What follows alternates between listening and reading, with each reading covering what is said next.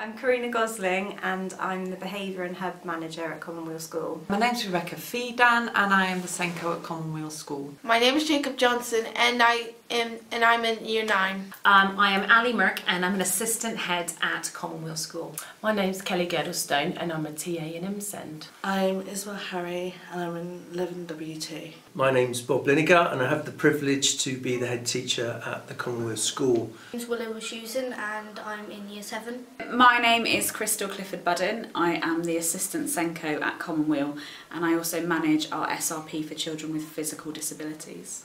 The Commonweal School's ethos is all in its name. Commonweal, Commonwealth, Common Good. Commonweal is a school in Wiltshire in Swindon. Um, it is a mainstream secondary school um, with sixth form and we have about 1,400 students within the school. We have 65 EHCP students at Commonweal and we've got two SRPs here, one for physical disabilities and one for specific learning difficulties. Our numbers for children with um, special educational needs and disabilities is well above average. And so I'd call us a community um, where inclusion is at the centre of what we do. We have a variety of students, different needs, and working at Commonweal feels like a huge family working together. These projects uh, provide our students with the life skills that they're going to need to be independent, lifelong learners and play an active role in the communities that they work and live in. We've recognised as a school that we needed to look at transitioning young people into year seven from year six to make that journey um, as seamless as possible. We've recognised through our person-centred approach that we needed to look at key stage three and how we could raise aspirations and help young people to achieve um, a career goal or any personal um, aspirations that they may have and then also supporting the young people from key stage 4 into key stage 5 with post 16 education.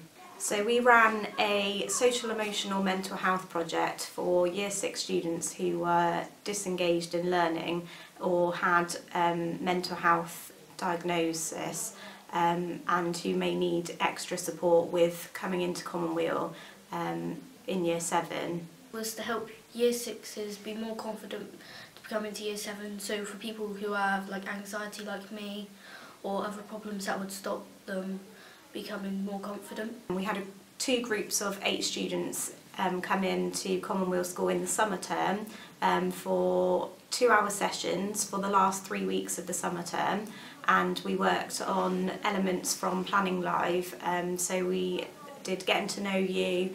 Um, they made cubes to say what their fears were about Commonweal School, what their worries were, um, and we could address those before they went on summer holiday. So by the time they came in year seven, they were really ready. They knew the Commonweal way, and they were very excited to join our school.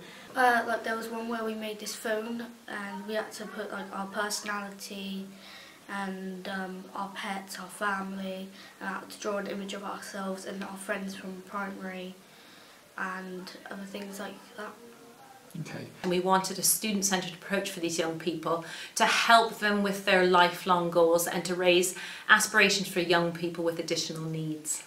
In my case, every Friday I would come to Commonweal and I would be with Mr Mercer and he would do us like activities and we would get to know the other people in Planning Live so we had some friends when we got here.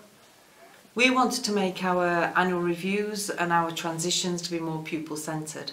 So this was really um, a way of doing that, a way of getting the parents and the students together so that we could get students' views and parents' views in a nice sort of relaxed atmosphere uh, with some structure to it. Because we were finding that we got to the Year 9 annual review, we started to have conversations about the Preparing for Adulthood pathways and children and families weren't always ready to have those conversations. It still felt a bit too early for them. Whereas we know that working with children with SEND, we need to start planning for the future a bit earlier than everybody else. After doing the Year 6 project, we have found that Year 7 students really transition well into Commonweal and they don't receive behaviour points in the first terms um, and they really understand um, Commonweal and also they, report that they feel excited to come, their worries and fears have been addressed before the summer term. It's good to know other things, personal things at home, like knowing their family motto, knowing what they do on a weekend is really fab to find out. The, the point of, of planning live for us is to get children ready in terms of preparing for adulthood. And quite a lot of the time, those conversations happen around the child, um, whereas we wanted those conversations to be far more student focused. Planning Live is located in the hall. We're about there for about three hours. Uh, the parents come in with their children. A TA is assigned, like a facilitator, to that table, helping to write down, helping to chat, making tea, having a, a lovely time talking about their children and what we can do to support them in their future life. um, having those children be part of this process and having the sort of planning live um, booklet that they can then take away with them gives them a bit of a passport if you like to their future so they've got lots of information in there about what's important to them who their family are who their friends are who is paid to support them um, and they can take that with them when they go off post 16 when they have a college interview um, when they meet their paediatrician they can take that with them and it can be a bit of a passport to who they are and what they want and it helps children to have a clear voice when it comes to meeting um, professionals, meeting adults in other settings, and it gives them a bit of confidence in terms of explaining their needs and what they want, and making sure that any conversations they have are focused around them. It made me more confident to to go towards my dream. There's key points in young people's journeys, and it, we talk a lot about transition in year six into year seven and making that secondary experience positive for them. But transition is seen in many different stages, and so we've really focused on that within our school. So planning live was a was a little event where teachers would would be with the student and the student's parents to say what, what career they would do in the future. Like a lot, they would they would talk about what what what's about them and many other things. Their their family members, their friends. It was with my mum and I was sat with my key worker, Miss Coker, and it helped me to plan what I could do and what sort of subjects I can do in college. So, and I can talk to other people about my lifestyle. Hmm. Because of planning live, my family knows that I want to become a gamer so they can support me and help me. Then in the future I will become one. and it makes me happy that I know I can do this and it gives me the confidence to build a CV and that I can do this my fullest and it gives me the chance to meet new people that I haven't met before and just go with it and just be my happy like I can be really happy and I know that I can do this. and to be quite driven by what the students wanted and what the students had in terms of their aspirations for the future. So what we decided we would do is employ that planning live approach, make the, the event very person centred um, and involve families and key members of staff with that. But the young person was at the heart of it all. So we found that that gave them a real opportunity to have those conversations. Um, yes, it's in a school setting, but actually, parents, um, some of the feedback we had, for example, from one parent, was that they felt that they couldn't have had that conversation around the dinner table. They had that conversation at school, and it gave them a bit more of a focus.